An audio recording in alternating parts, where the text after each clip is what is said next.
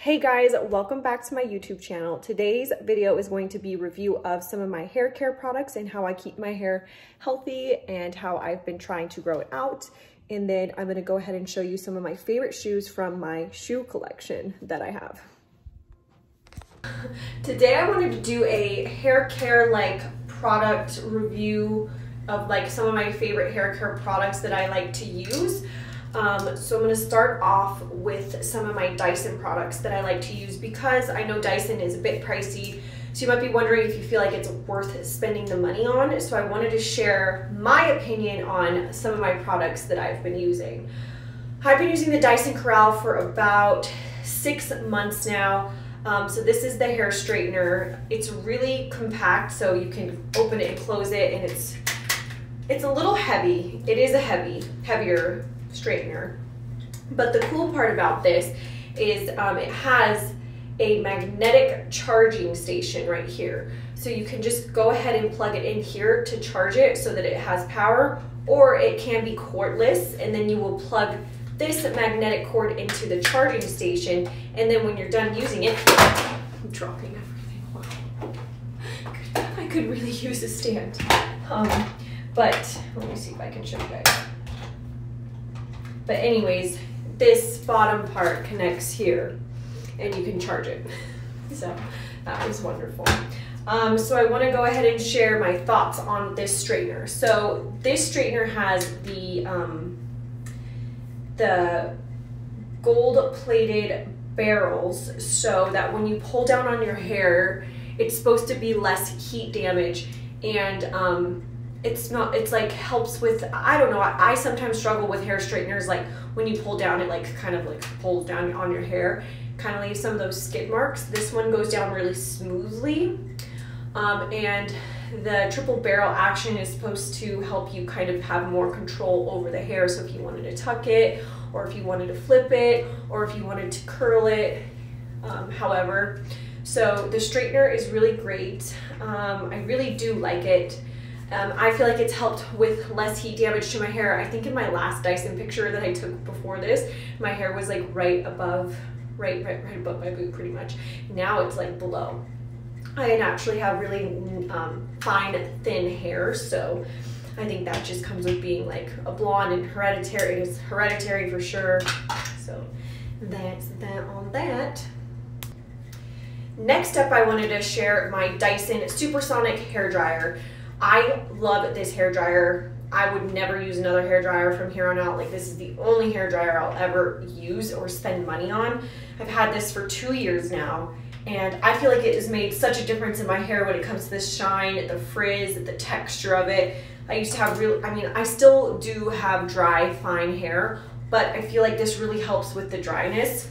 It is a little heavy, but worth it to me because I like to invest in my hair. I want it to be as healthy as possible. Um, it's ultra fast drying. You can change the settings right here to how hot you want it to be. Um, I keep mine, mine on medium, so I don't like it super hot because I just don't like to like try to burn off my hair. But this is also supposed to help with less heat damage and you can style your hair with this um, magnetic thing that comes on and off. And this will help you style your hair if you want to get that nice blowout. Next up is my curling iron. So I use the Hot Tools Professional Curling Iron in a one and a half inch barrel, I believe, or one and one fourth. Um, I don't have the Dyson um, Airwrap. I really would like to get that and try it out. Um, I've heard really great things about it, but um, for now, I like to just naturally curl my hair with my curling iron. Um, so I use this one. I've been using this one since high school super affordable. Not sure how good it is for your hair, but I try to only style my hair one to two times a week. So I really try to avoid putting heat to it, um, just in general. So this one is great. I like this size barrel so that I can get more of that beachy wave. I do have a one inch barrel of the Hot Tools one. It's purple.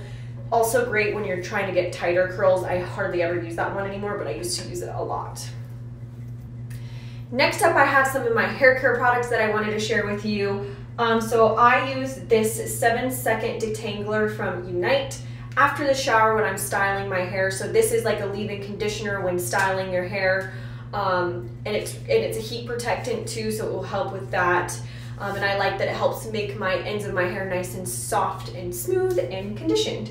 Um, so I think this is really great. Also smells really good and easy to style your hair after using. It's not like thick or like coarse, like trying to style your hair with that. And then on days that I'm also styling my hair, I like to use my Unite Blonde Oil. So this is for blondes. Um, I naturally, again, have thin, fine hair. So, um, and dry, especially living here in Vegas. So I really like to add this oil to the ends of my hairs to give it that shine um, when styling my hair. When I'm not styling my hair, when I get in the shower and I just get out and let it air dry, I like to put this in. It's Ouai leave-in conditioner. This is amazing. It smells really, really good. So I will put this in right after the shower, comb through my hair, and then I just leave it in. I kind of spray it on half from here down, and I just like lay it on. I lather it. As you can see, I use a ton of this stuff. And then before bed at night, I like to put this on my hair. I never use this when I'm styling my hair. My hairdresser actually said it could be more damaging than it could be helpful because the heat added to this can damage your hair. So I like to use the Moroccan Oil Light. This is for fine, light colored hair. Um, so the other one is just the regular Moroccan oil. It is a little heavy. Um, so I like this because I do have light and fine hair, so this is perfect for me. This smells amazing. Um, um I always put this in every single night before bed, even when I've styled my hair and I know I'm not gonna be touching it up with heat again throughout the few days that I'm not washing my hair, I will put this on every night and my hair just soaks it up. Um, so that's a few of my hair care products that I love to use. Oh, shampoo and conditioner. Let me grab that really quick.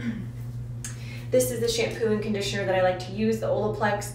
You guys have probably heard of it. Amazing. It is a little bit expensive, but totally worth it. Smells really good and the um, conditioner is like nice and moisturizing. So highly recommend this. I'm gonna share few of my favorite shoes from my shoe collection. My boyfriend liked to say that I have a collection of shoes. When it comes to shoes, it's like my favorite thing to splurge on. I absolutely love shoes. I don't know what, other, what else to say other than shoes. Oh my gosh, shoes. Um, so I'm gonna share some of my favorite shoes with you guys. Um, I have them all lined up here, ready to talk about each pair. And um, let's get started. All right, so I think I'll start with sandals. Um, so I have these Dolce Vita sandals in sky blue. They have the studs here, the square toe, and then the studs around the heel here. Super cute. They wrap around the ankle. Absolutely love this color for spring, summer. Super cute.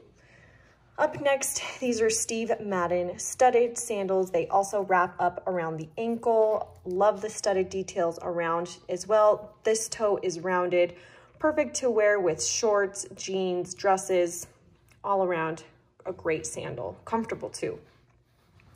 And then I got these denim Dolce Vita ones. These are a chunky heel, and I absolutely love the color of these. I love that denim style and the braided straps. Um, super comfortable if you're looking for a great pair of sandaled heels. I highly recommend checking out Dolce Vita.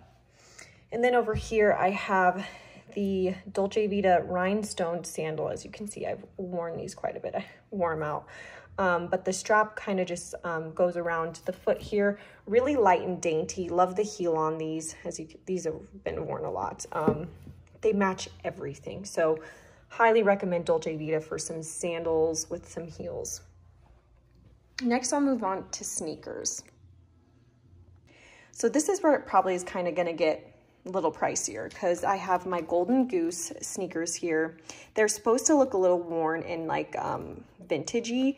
So they have the glitter here, the cheetah glitter. I wanted something like a little obnoxious when I got my Golden Gooses. So that's why I picked the cheetah sparkles. Absolutely love these shoes. They are a little bit like wider so um, if you wanted to tighten up the laces, I think that would be cute too, but I can just slide these right on. And yeah, definitely worth it. Um, Golden Gooses are really comfortable. Up next, I have my Valentino sneakers. I wanted these because they had the number 11 on them. And it's obviously one of my favorite numbers. And ironically enough, when I got them, I had met Ola, and at the time his number was 11. So it just felt right. Um, so these are so cool. The bottoms have like the studs on them as well. And the studs have stayed so well. They are also kind of a bulkier sneaker.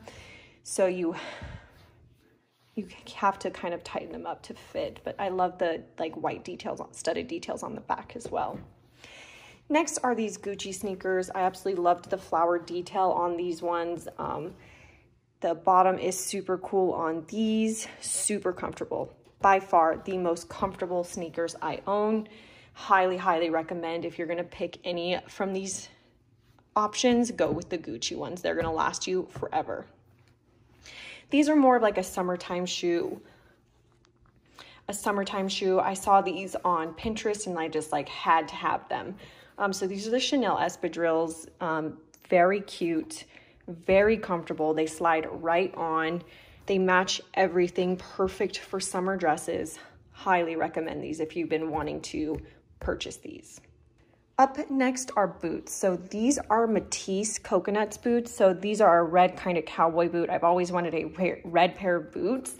So absolutely love these ones. These are for like, you know, special occasions. You don't wear these too often um, and they don't really match everything. But I loved the style of them. They have like kind of like a snake skin type feel look to them. And then they're red, of course. And then I liked the black trim on them versus like a, uh, like wood trim.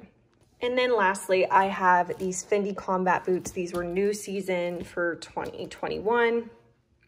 Wore these in Sweden all the time with leggings. So cute, so comfortable. I got the black and gray. They have the tan and black ones. Just all around a great boot. And I love that they're kind of like a sock combat boot. And then I keep these in here to keep the shape.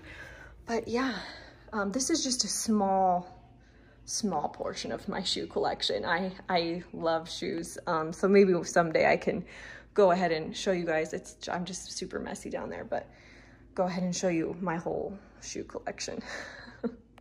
Thank you guys so much for watching this YouTube video. I hope you enjoyed it. If you liked it, please put a thumbs up on this video and don't forget, well, can't speak. Don't forget to like, subscribe, and comment on this video and follow us on our podcast at Twinning at Life.